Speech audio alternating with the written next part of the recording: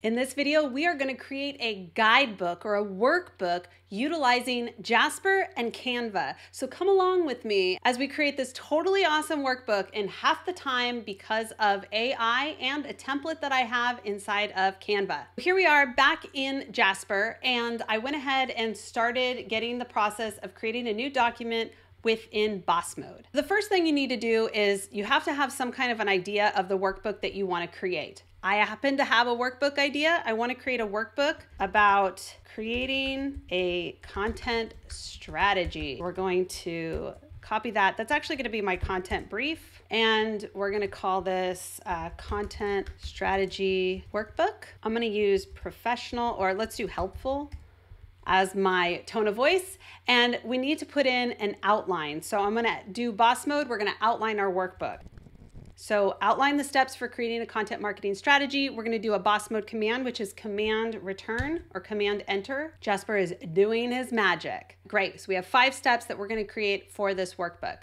So these are going to go into our content brief. So now that we have our outline, we know how we want to start designing in Canva. So I actually simultaneously create the content and I create the actual workbook because I want the design to really be cohesive and I don't want to put more work than I need to. So I want to create the content that I actually need. So let's go in. I have Canva here. I went ahead and created a US letter size document. I already have this really great template that I got off of Fiverr and it just has different samples of different ways that I could do different types of workbooks. It's really handy. And so we first and foremost need a cover page for this beautiful workbook. So we're going to do this one right here. Here we go. And we're just going to do, let's see, the content planner toolkit. That works. Perfect. I need to put something in my image here. So I'll go up to elements and I'm going to search content and I can find under photos different pictures that might work. I like this one. We're going to put that in there and voila. So we just need to add my link down here and add a page. So now we're gonna go back down to my template and we're gonna do our second page. Now, depending on the length of this particular document, we might wanna include a table of contents or something like that. But the thing I definitely want to include is like a little intro welcome section. So I went ahead and added that.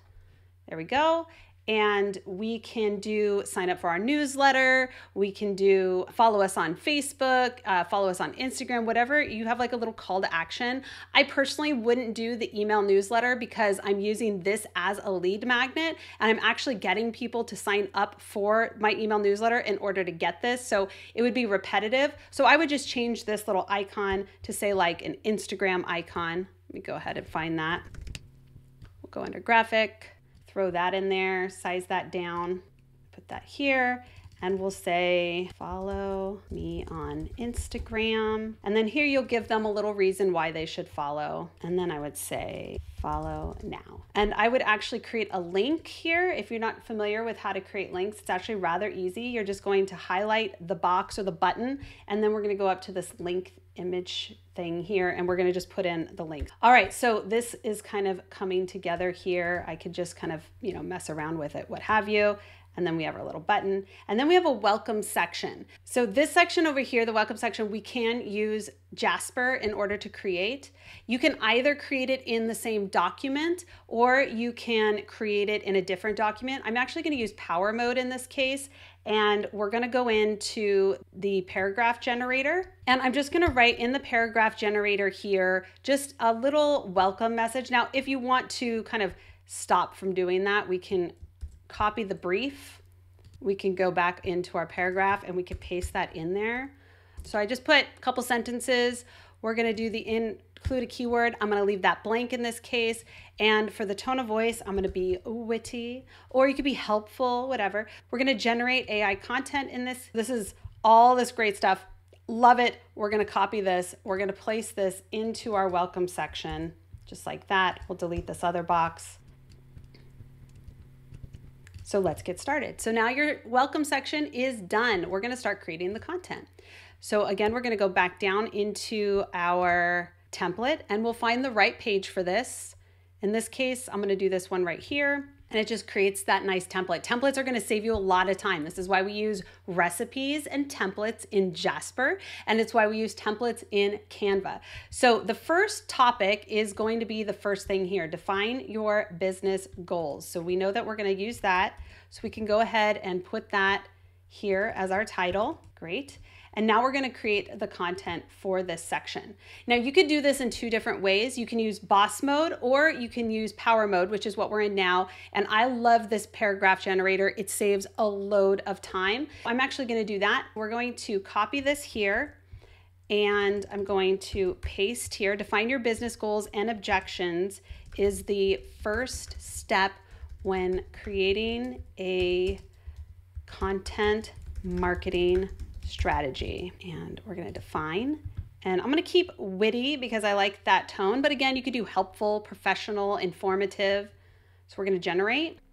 All right, so you are going to find the copy that you like the best. I like this particular copy the best. I'm going to copy that over into my document and paste it right here. Now we're going to go back into focus mode, which is full boss mode.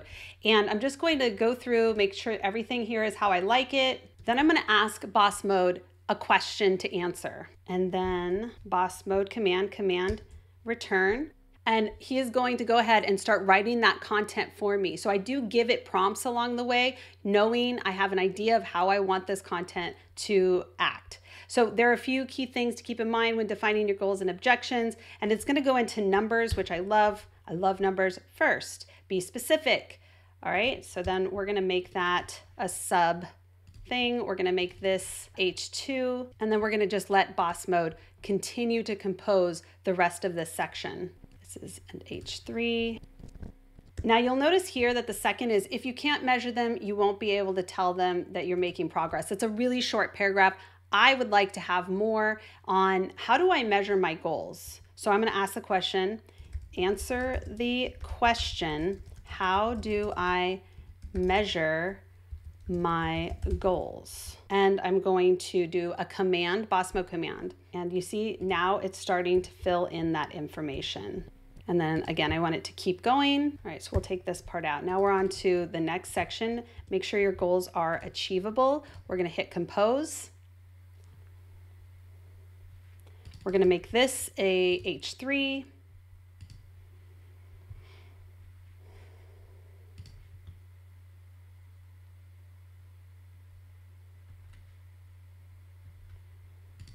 Common goals include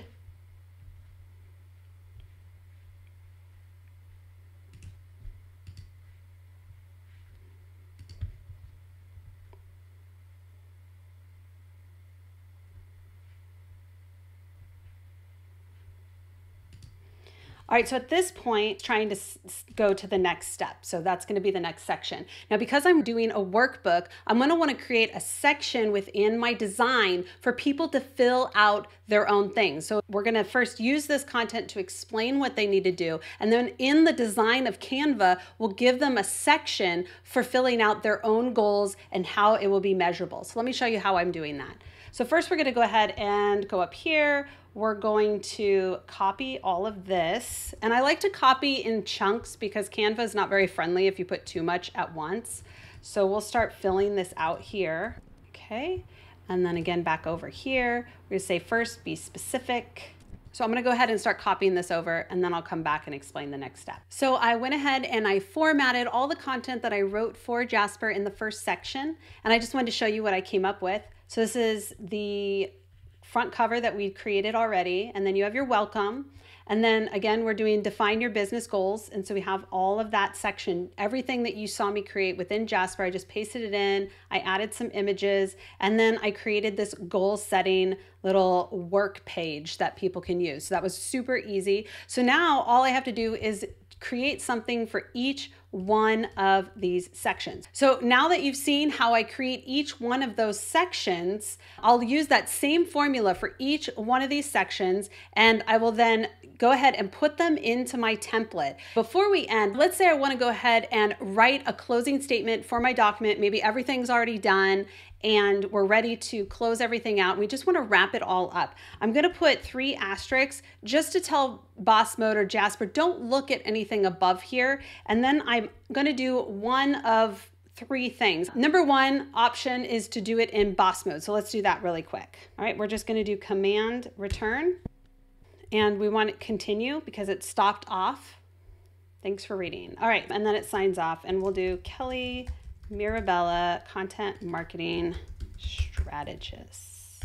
So that's one way. I can also go into the power mode again, I could use the paragraph generator to write a closing statement. I can use the blog conclusion paragraph to write a closing statement. So that's the one I'm going to show you because we've already looked at how to use the paragraph writer. So if I wanted to write a closing statement for this, I would just go into focus mode. I'd grab my brief, open that template back up.